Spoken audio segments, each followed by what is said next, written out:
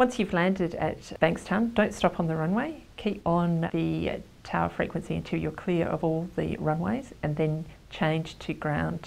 You have right of way if you're coming off a runway. Contact ground and just a request a clearance to the parking and that will come back as cleared to parking and you do have to give that as a readback as well. Charlie Yankee Foxtrot's clear of the runway for the GA park. Charlie Yankee Foxtrot, ground, good day, taxi to parking. Taxi parking, Charlie Yankee Foxtrot. Uh, here at Bankstown, it can become very busy on the ground frequency, so it's very important that pilots read back all required readbacks when talking with the ground controller.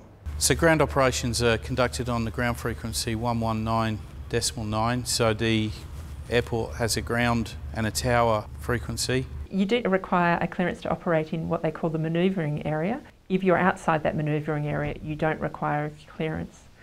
So in essence, if you start up and you taxi over, there will be a manoeuvring area sign. Stop there and on the ground get your clearance to taxi. Bankstown ground will give you a clearance to a holding point, depending on what runway is in use. In your readback, you must read back that it's to holding point alpha 8 or whatever holding point they've given to you. Make sure that you do do the correct readbacks because it can get really congested on Bankstown ground.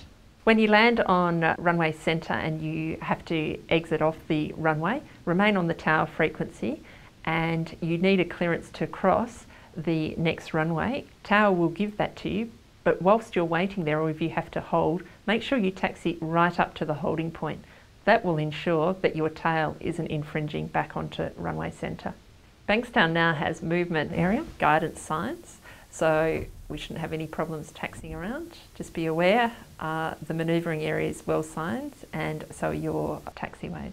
So helicopters at Bankstown are generally made to use runways and helipads. So it's very tricky to actually get a, an arrival or a departure from a specific point. So helicopters will have to taxi at Bankstown with a ground clearance to access either a runway or a helipad.